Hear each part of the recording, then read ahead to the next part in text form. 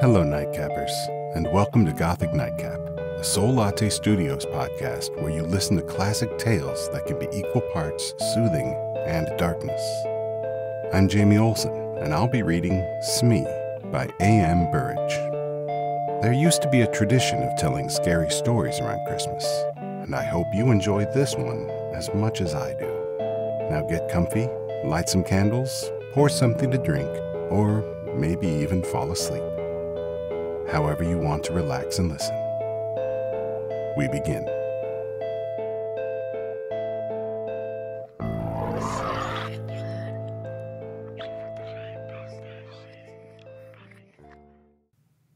No, said Jackson with a deprecatory smile. I'm sorry, I don't want to upset your game. I shan't be doing that because you'll have plenty without me. But I'm not playing any games of hide and seek.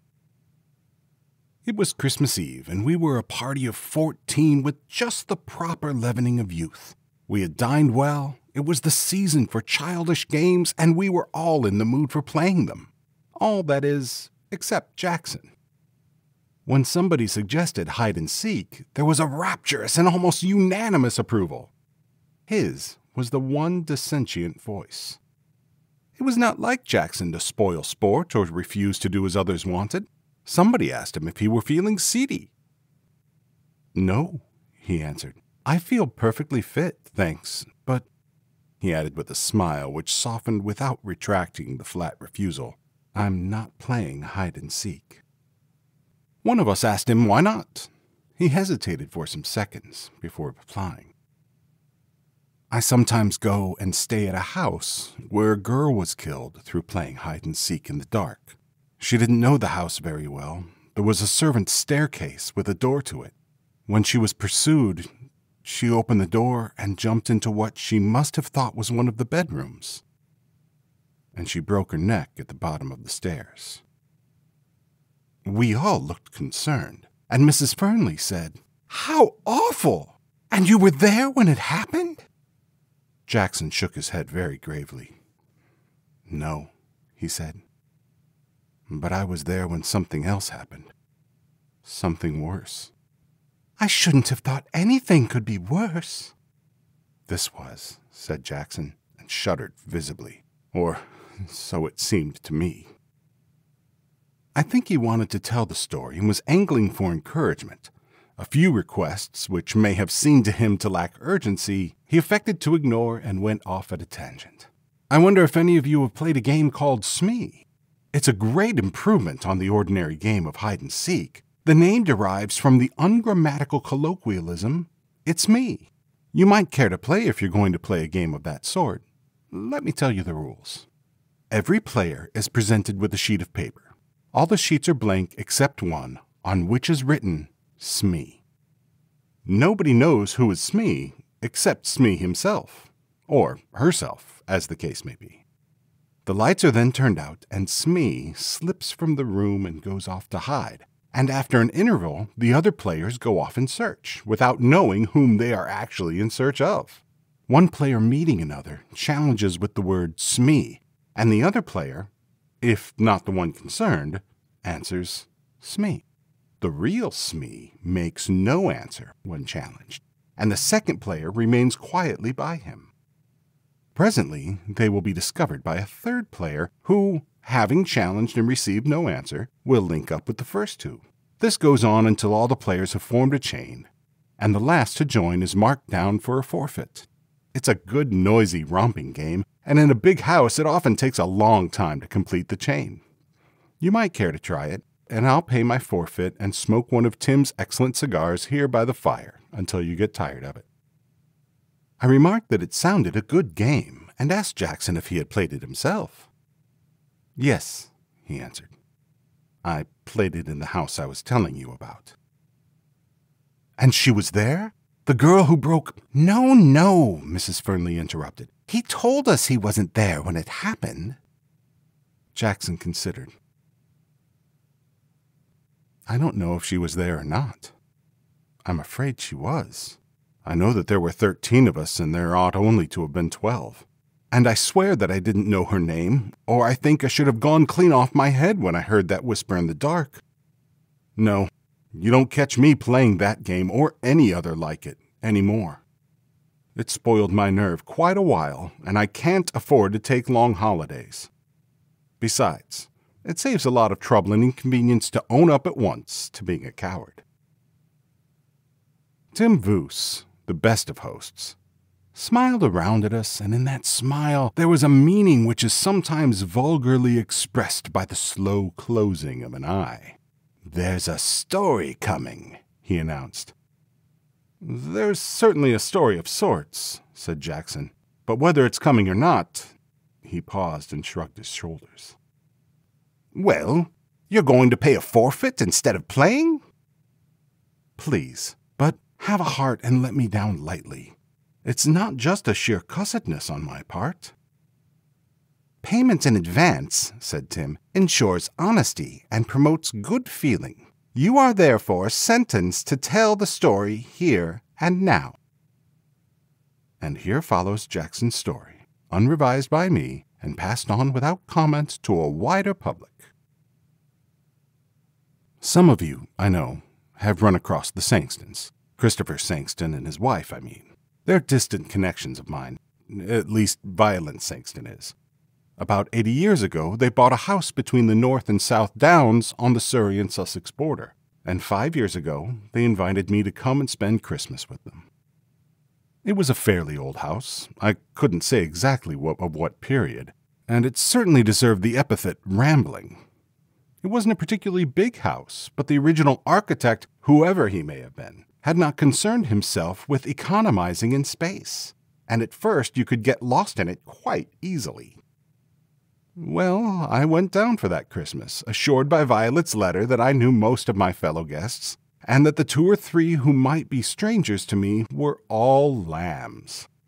Unfortunately, I'm one of the world's workers and couldn't get away until Christmas Eve, although the other members of the party had assembled on the preceding day. Even then, I had to cut it rather fine to be there for dinner on my first night. They were all dressing when I arrived, and I had to go straight to my room and waste no time. I may even have kept dinner waiting a bit, for I was last down, and it was announced within a minute of my entering the drawing room. There was just time to say hello to everybody I knew and to be briefly introduced to the two or three I didn't know. And then I had to give my arm to Mrs. Gorman. I mention this as the reason why I didn't catch the name of a tall, dark, handsome girl I met before. Everything was rather hurried, and I am always bad at catching people's names. She looked cold and clever and rather forbidding, the sort of girl who gives the impression of knowing all about men, and the more she knows of them, the less she likes them. I felt that I wasn't going to hit it off with this particular lamb of Violet's but she looked interesting all the same, and I wondered who she was. I didn't ask because I was pretty sure of hearing somebody address her by name before long. Unluckily, though, I was a long way off at her table, and as Mrs. Gorman was at the top of her form that night, I soon forgot to worry about who she might be. Mrs. Gorman is one of the most amusing women I know, an outrageous but quite innocent flirt with a very sprightly wit which isn't always unkind. She can think half a dozen moves ahead in conversation just as an expert can in a game of chess. We were soon sparring, or rather, I was covering against the ropes, and I quite forgot to ask her in an undertone the name of the cold, proud beauty. The lady on the other side of me was a stranger, or had been until a few minutes since, and I didn't think of seeking information in that quarter. There was a round dozen of us, including the Sangstons themselves, and we were all young, or trying to be. The Sangstons themselves were the oldest members of the party, and their son Reggie, in his last year at Marlborough, must have been the youngest. When there was talk of playing games after dinner, it was he who suggested Smee. He told us how to play it, just as I've described it to you. His father chipped in as soon as we all understood what was going to be required of us. If there are any games of that sort going on in the house, he said, for goodness sake, be careful of the back stairs on the first floor landing. There's a door to them, and I've often meant to take it down. In the dark, anybody who doesn't know the house very well might think they were walking into a room. A girl actually did break her neck on those stairs about ten years ago when the Ainstys live here. I asked how it happened. Oh, said Sangston. There was a party here one Christmas time, and they were playing hide and seek, as you proposed doing. The girl was one of the hiders. She heard somebody coming, ran along the passage to get away, and opened the door of what she thought was a bedroom. Evidently, with the intention of hiding behind it while her pursuer went past. Unfortunately, it was the door leading to the back stairs, and that staircase is as straight and almost as steep as the shaft of a pit. She was dead when they picked her up. We all promised for our own sakes to be careful. Mrs. Gorman said that she was sure nothing could happen to her, since she was insured by three different firms, and her next of kin was a brother whose consistent ill luck was a byword in the family. You see, none of us had known the unfortunate girl, and as the tragedy was ten years old, there was no need to pull long faces about it. Well, we started the game almost immediately after dinner. The men allowed themselves only five minutes before joining the ladies, and then young Reggie Sangston went round and assured himself that the lights were out all over the house, except in the servants' quarters and in the drawing room where we were assembled. We then got busy with twelve sheets of paper, which he twisted into pellets and shook up between his hands before passing them around. Eleven of them were blank, and Smee was written on the twelfth. The person drawing the ladder was the one who had to hide. I looked and saw that mine was blank, a moment later, out went the electric lights, and in the darkness, I heard somebody get up and creep to the door. After a minute or so, somebody gave a signal, and we made a rush for the door. I, for one, hadn't the least idea which of our party was Smee. For five or ten minutes, we were all rushing up and down passages and in and out of rooms, challenging one another and answering, Smee? Smee! After a bit, the alarums and excursions died down and I guessed that Smee was found. Eventually, I found a chain of people all sitting still and holding their breath on some narrow stairs leading up to a row of attics. I hastily joined it, having challenged and been answered in silence, and presently two more stragglers arrived, each racing the other to avoid being last. Sangston was one of them. Indeed, it was he who was marked down for a forfeit, and after a little while he remarked in an undertone, I think we're all here now, aren't we? He struck a match, looked up the shaft of the staircase, and began to count. It wasn't hard, although we just about filled the staircase, for we were sitting each a step or two above the next, and all of our heads were visible. Nine, ten, eleven, twelve, thirteen, he concluded, and then laughed. Dash it all, that's one too many. The match had burned out, and he struck another and began to count. He got as far as twelve and then uttered an exclamation. There are thirteen people here, he exclaimed. I haven't counted myself yet. Oh, nonsense, I laughed. You probably began with yourself, and now you want to count yourself twice. Out came his son's electric torch, giving a brighter and steadier light as we all began to count. Of course, we numbered twelve. Sangston laughed. well, he said, I could have sworn I counted thirteen twice. From halfway up the stairs came Violet Sangston's voice with a nervous trill in it. I thought there was somebody sitting two steps above me. Have you moved up, Captain Ransom? Ransom said that he hadn't. He also said that he thought there was somebody sitting between Violet and himself.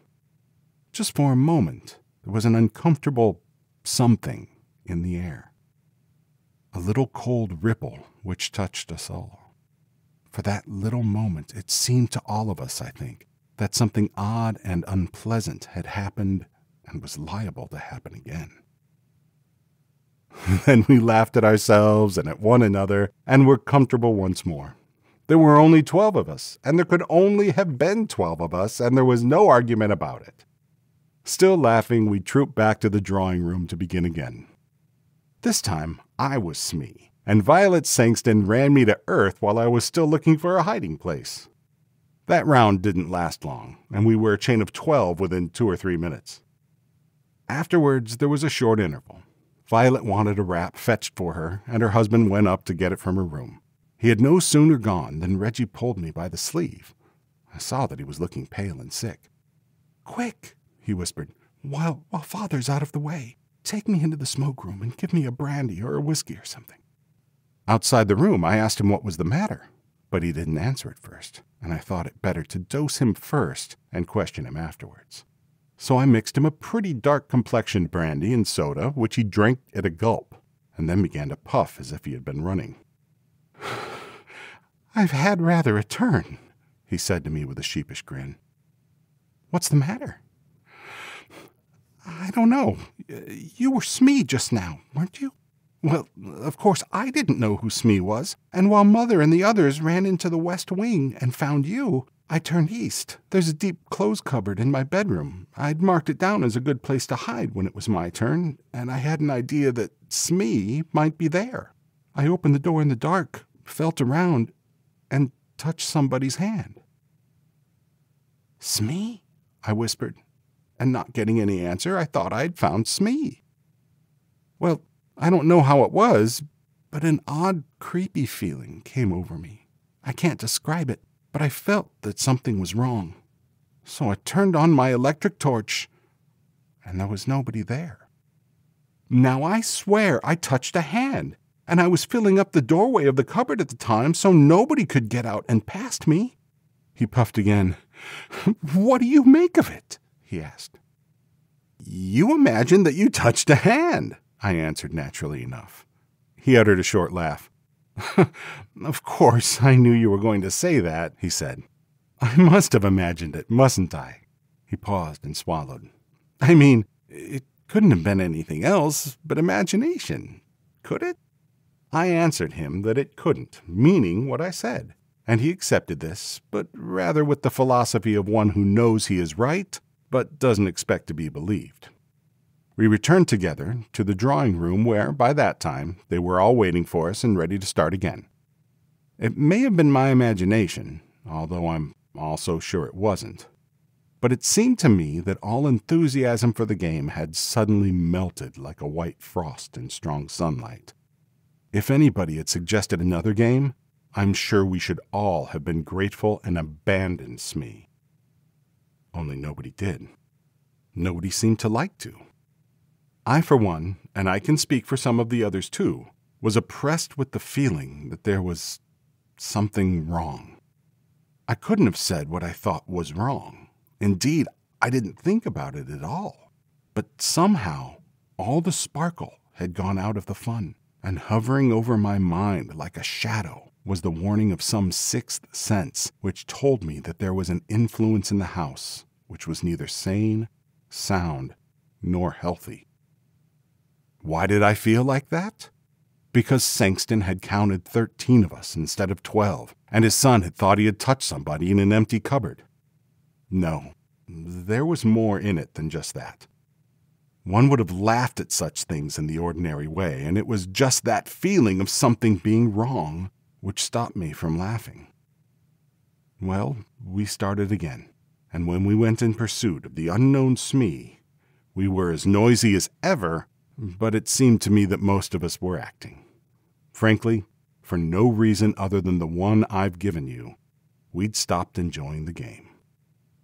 I had an instinct to hunt with the main pack, but after a few minutes, during which no Smee had been found, my instinct to play winning games and be first if possible set me searching on my own account. And on the first floor of the west wing following the wall, which was actually the shell of the house, I blundered against a pair of human knees. I put out my hand and touched a soft, heavy curtain. Then I knew where I was. There were tall, deeply recessed windows with seats along the landing, and curtains over the recesses to the ground. Somebody was sitting in a corner of this window seat behind the curtain. Aha! I had caught Smee! So I drew the curtain aside, stepped in, and touched the bare arm of a woman. It was a dark night outside, and moreover, the window was not only curtained, but a big blind hung down to where the bottom panes joined up with the frame. Between the curtain and the window, it was as dark as the plague of Egypt. I could not have seen my hand held six inches in front of my face, much less the woman sitting in the corner. Smee? I whispered. I had no answer. Smee, when challenged, does not answer. So I sat beside her first in the field, to await the others. Then, having settled myself, I leaned over to her and whispered, Who is it? What's your name, Smee? And out of the darkness beside me, the whisper came back, Brenda Ford. I didn't know the name, but because I didn't know it, I guessed at once who she was. The tall, pale, dark girl was the only person in the house I didn't know by name. Ergo, my companion was the tall, pale, dark girl. It seemed rather intriguing to be there with her, shut in between a heavy curtain and a window, and I rather wondered whether she was enjoying the game we were all playing. Somehow, she hadn't seemed to me to be one of the romping sort. I muttered one or two commonplace questions to her, and had no answer. Smee is a game of silence. Smee and the person or persons who have found Smee are supposed to keep quiet to make it hard for the others. But there was nobody else about, and it occurred to me that she was playing the game a little too much to the letter. I spoke again and got no answer. And then I began to be annoyed. She was of that cold, superior type which affects to despise men. She didn't like me, and she was sheltering behind the rules of a game for children to be discourteous. Well, if she didn't like sitting there with me, I certainly didn't want to be sitting there with her. I half turned from her and began to hope that we should both be discovered without much more delay. Having discovered that I didn't like being there alone with her, it was queer how soon I find myself hating it and that for a reason very different from the one which had at first whetted my annoyance. The girl I had met for the first time before dinner and seen diagonally across the table had a sort of cold charm about her which had attracted while it had half angered me. For the girl who was with me, imprisoned in the opaque darkness between the curtain and the window, I felt no attraction at all. It was so very much the reverse that I should have wondered at myself if, after the shock of the discovery that she had suddenly become repellent to me, I had had room in my mind for anything besides the consciousness that her close presence was an increasing horror to me. It came upon me just as quickly as I've uttered the words. My flesh suddenly shrank from her as you see a strip of gelatin shrink and wither before the heat of a fire. That feeling of something being wrong had come back to me, but multiplied to an extent which turned foreboding into actual terror. I firmly believed that I should have got up and run if I had not felt at my first movement she would have divined my intention and compelled me to stay by some means of which I could not bear to think. The memory of having touched her bare arm made me wince and draw in my lips. I prayed that somebody else would come along soon. My prayer was answered. Light footfalls sounded on the landing. Somebody on the other side of the curtain brushed against my knees. The curtain was drawn aside and a woman's hand, fumbling in the darkness, presently rested on my shoulder. Smee? A woman's voice, which I instantly recognized as Mrs. Gorman's. Of course, she received no answer. She came and settled down beside me with a rustle, and I can't describe the sense of relief she brought me. It's Tony, isn't it? she whispered. Yes, I whispered back. You're not Smee, are you? No, she's on my other side. She reached a hand across me, and I heard one of her nails scratch the surface of a woman's silk gown. Hello, Smee. How are you? Who are you? Oh, is it against the rules to talk? Never mind. Tony we'll break the rules. Don't you know, Tony? This game is beginning to irk me a little. I hope they're not going to run it to death by playing it all evening. I'd like to play some game where we can all be together in the same room with a nice bright fire. Same here, I agreed fervently. Can't you suggest something when we go down? There's something rather uncanny in this particular amusement. I can't quite shed the delusion that there's somebody in this game who oughtn't to be in at all. That was just how I had been feeling, but I didn't say so. But for my part, the worst of my qualms were now gone. The arrival of Mrs. Gorman had dissipated them. We sat on talking, wondering from time to time when the rest of the party would arrive. I don't know how long elapsed before we heard a clatter of feet on the landing and young Reggie's voice shouting, Hello? Hello there? Anybody there? Yes, I answered. Mrs. Gorman with you? Yes. well, you're a nice pair. You've both forfeited. We've all been waiting for you for hours. Why, you haven't found Smee yet, I objected. You haven't, you mean? I happen to have been Smee myself. But Smee's here with us, I cried. Yes, yes, agreed Mrs. Gorman. The curtain was stripped aside, and in a moment we were blinking into the eye of Reggie's electric torch. I looked at Mrs. Gorman, and then on my other side. Between me and the wall, there was an empty space on the window seat. I stood up at once and wished I hadn't, for I found myself sick and dizzy. There was somebody there, I maintained, because I touched her. So did I, said Mrs. Gorman in a voice which had lost its steadiness, and I don't see how she could have got up and gone without our knowing it. Reggie uttered a queer, shaken laugh. He, too, had had an unpleasant experience that evening. Somebody's been playing the goat, he remarked. Coming down? We were not very popular when we arrived in the drawing room. Reggie rather tactlessly gave it out that he had found us sitting on a window seat behind the curtain. I taxed the tall, dark girl with having pretended to be Smee and afterward slipping away. She denied it.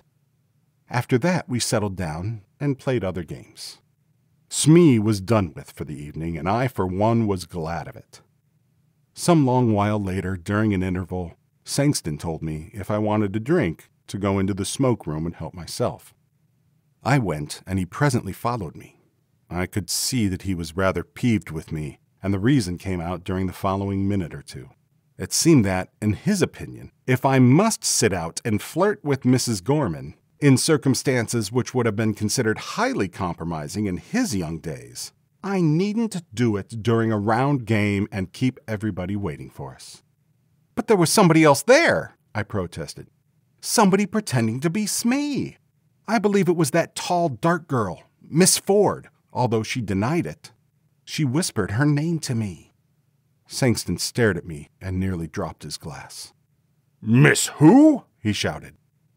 Brenda Ford. She told me what her name was. Sangston put down his glass and laid a hand on my shoulder. Look here, old man, he said. I don't mind a joke, but don't let it go too far. We don't want all the women in the house getting hysterical. Brenda Ford is the name of the girl who broke her neck on the stairs playing hide and seek here 10 years ago.